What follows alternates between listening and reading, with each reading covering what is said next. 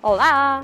Olá, gente! Então, tudo bem? Meu, meu nome é Elisa e chego da, da Itália.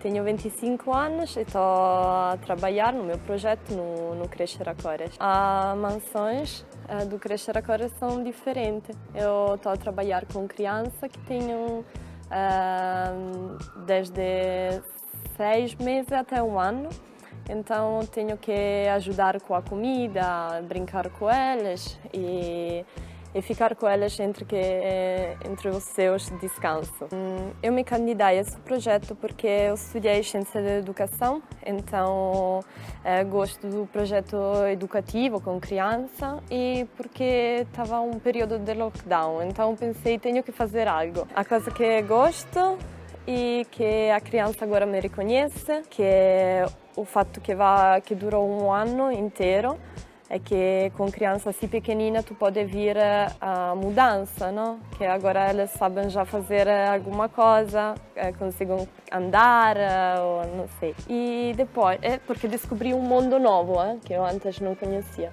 E a coisa que não gosto, seguro, é a rotina, porque para mim é a primeira vez que tenho uma, uma rotina assim rígida. Alguma vez está cheio de coisas para fazer, outra vez eh, fica aí.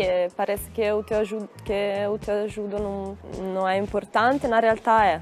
É que os primeiros dias me mostraram qual é a rotina da criança, porque a, criança precisa de uma rotina.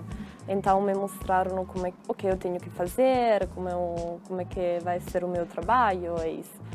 E depois percebi que, quando eu percebi o trabalho que tinha que fazer, depois eu agora tenho uma autonomia. Allora, para acabar o meu projeto, ainda faltam três meses, mais ou menos.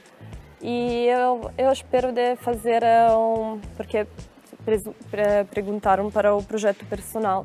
Então, acho que o nosso projeto personal, mais ou menos, é fazer um mural, uma parede aqui, que ainda está vazia, e reestruturar um outro mural que já está. Minha, na minha classe, na minha aula, está uma, uma menina muito pequenina, que se chama Maria, e durante o período de, de quando, durante o período do descanso, ela, nós não estávamos aí. Então, quando chegamos aí, encontramos ela com a fralda, é, que estava a fazer assim com a sua fralda, e a parede, a cama, e as outras crianças que estavam a dormir aí perto estavam cheias de cocô.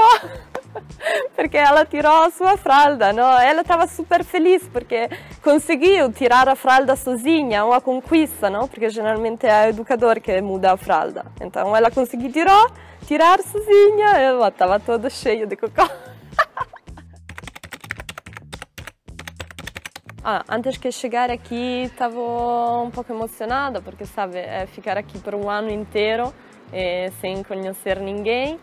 É um pouco de medo mas também muita vontade de fazer algo de encontrar se calhar uma possibilidade de fazer coisas de encontrar pessoas.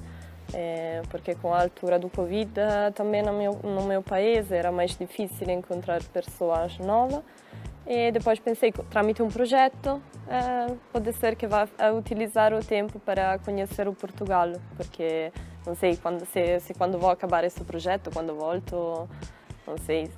Agora estou aqui, então tenho que aproveitar para ir com amigas, vou fazer viagem para explorar o Portugal. É isso.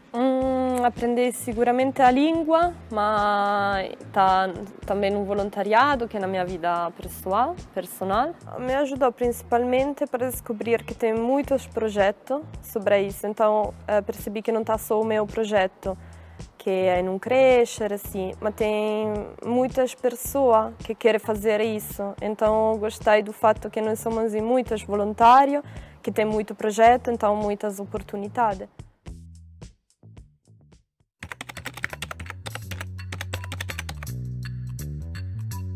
Pastel de nata, azeitonas, caneca, Sagres, Porto, hum, a Esposa Nova, Miradouro, Cascais.